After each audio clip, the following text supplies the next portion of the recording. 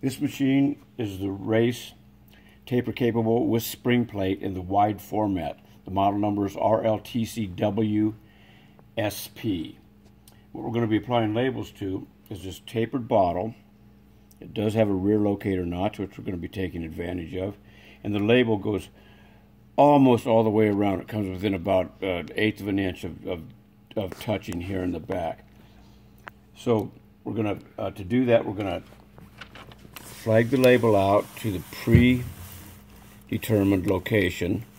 And we're using this, if you can see this uh, notch right here, this angle.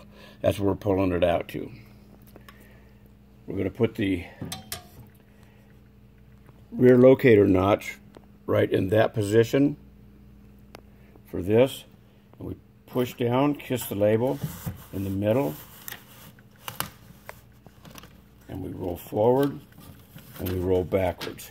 And what you get is a perfect application here, perfectly level across there, no wrinkles, no bubbles. It is this line is directly straight up from the rear locator notch where the labels almost meet. So as you can see, that's perfectly applied. So we'll apply another label. The label it comes out to the predetermined location. The rear locator notch goes right in that position. Push down, roll forward, apply the front of the label, and roll backwards and apply the back of the label. And you get the same exact application.